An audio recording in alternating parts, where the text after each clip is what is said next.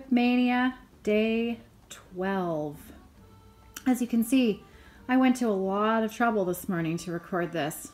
I've got my whip of the day on my bed and it's even a little bit messy this morning. There's my Afghan made by my great grandmother. It was quite cold in here last night. I had to turn the heat back on and uh, cozy up under the Afghan on top of the bed last night. But it was quite a nice, quite a nice sleep last night. It was quite cozy. So today's whip that I'm going to work on is Frederika by Carriage House Samplings. And I know that uh, I had said yesterday I would be working on Quaker Diamonds if I didn't choose it as yesterday's whip.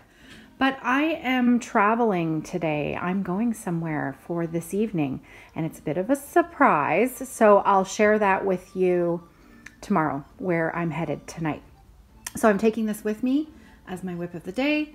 As you can see, I did a terrible job organizing my threads. I sort of threw everything in the project bag and left it from the last time I worked on it. I think I was bobbinating as I used the colors. So today's job might be to get myself a little bit more organized uh, or just stitch. Who knows? Who knows what the day will bring. So this is today's whip and I love the fabric. This is a this is an even weave. Picture this plus doubloon. Is it picture this plus that makes doubloon? I think they do. Somebody please correct me if I'm wrong. But uh, can't wait to get stuck in. I love this fabric. I love the color. I think the color of the floss on this fabric is absolutely perfect. Can't wait. So, that's today. So here's a, an updated bit of video on yesterday's whip. As you can see, I've got it on my floor frame from stitching it last night. I very sadly have to frog this section in here that I did late last night because I miscounted and my top row I did five stitches instead of four which threw everything over by one so that has to come out but fortunately it's not very much I also finished I completed down here last night and I started this and I did that that was about it so no great shakes, but better than nothing. Sadly, about the frog.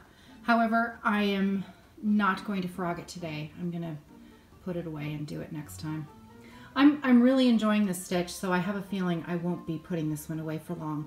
I'll suspect that, knowing myself, I will probably take this one to the cottage, as well as Shades of Blue, to make some major stitch progress over the summer.